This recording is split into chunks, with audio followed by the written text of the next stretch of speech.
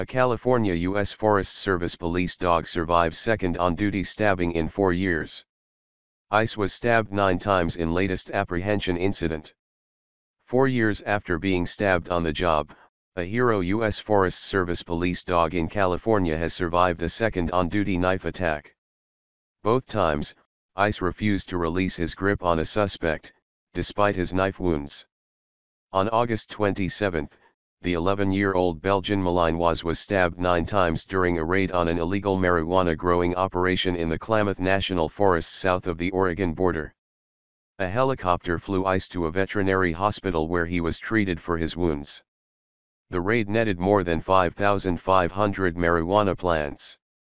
Thankfully, despite the attack, no major areas were struck, and ICE will quickly recover and return to service until his expected retirement at the end of this month, Cody Wheeler, the Forest Service's North Zone Patrol Commander, said in a statement.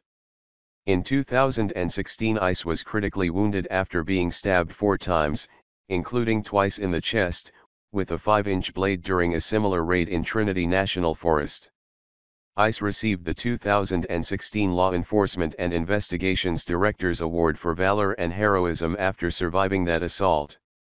He was also honored then as a Top Dog Award winner in the international category by American Humane Hero Dogs, appearing in a nationally televised award ceremony in 2017.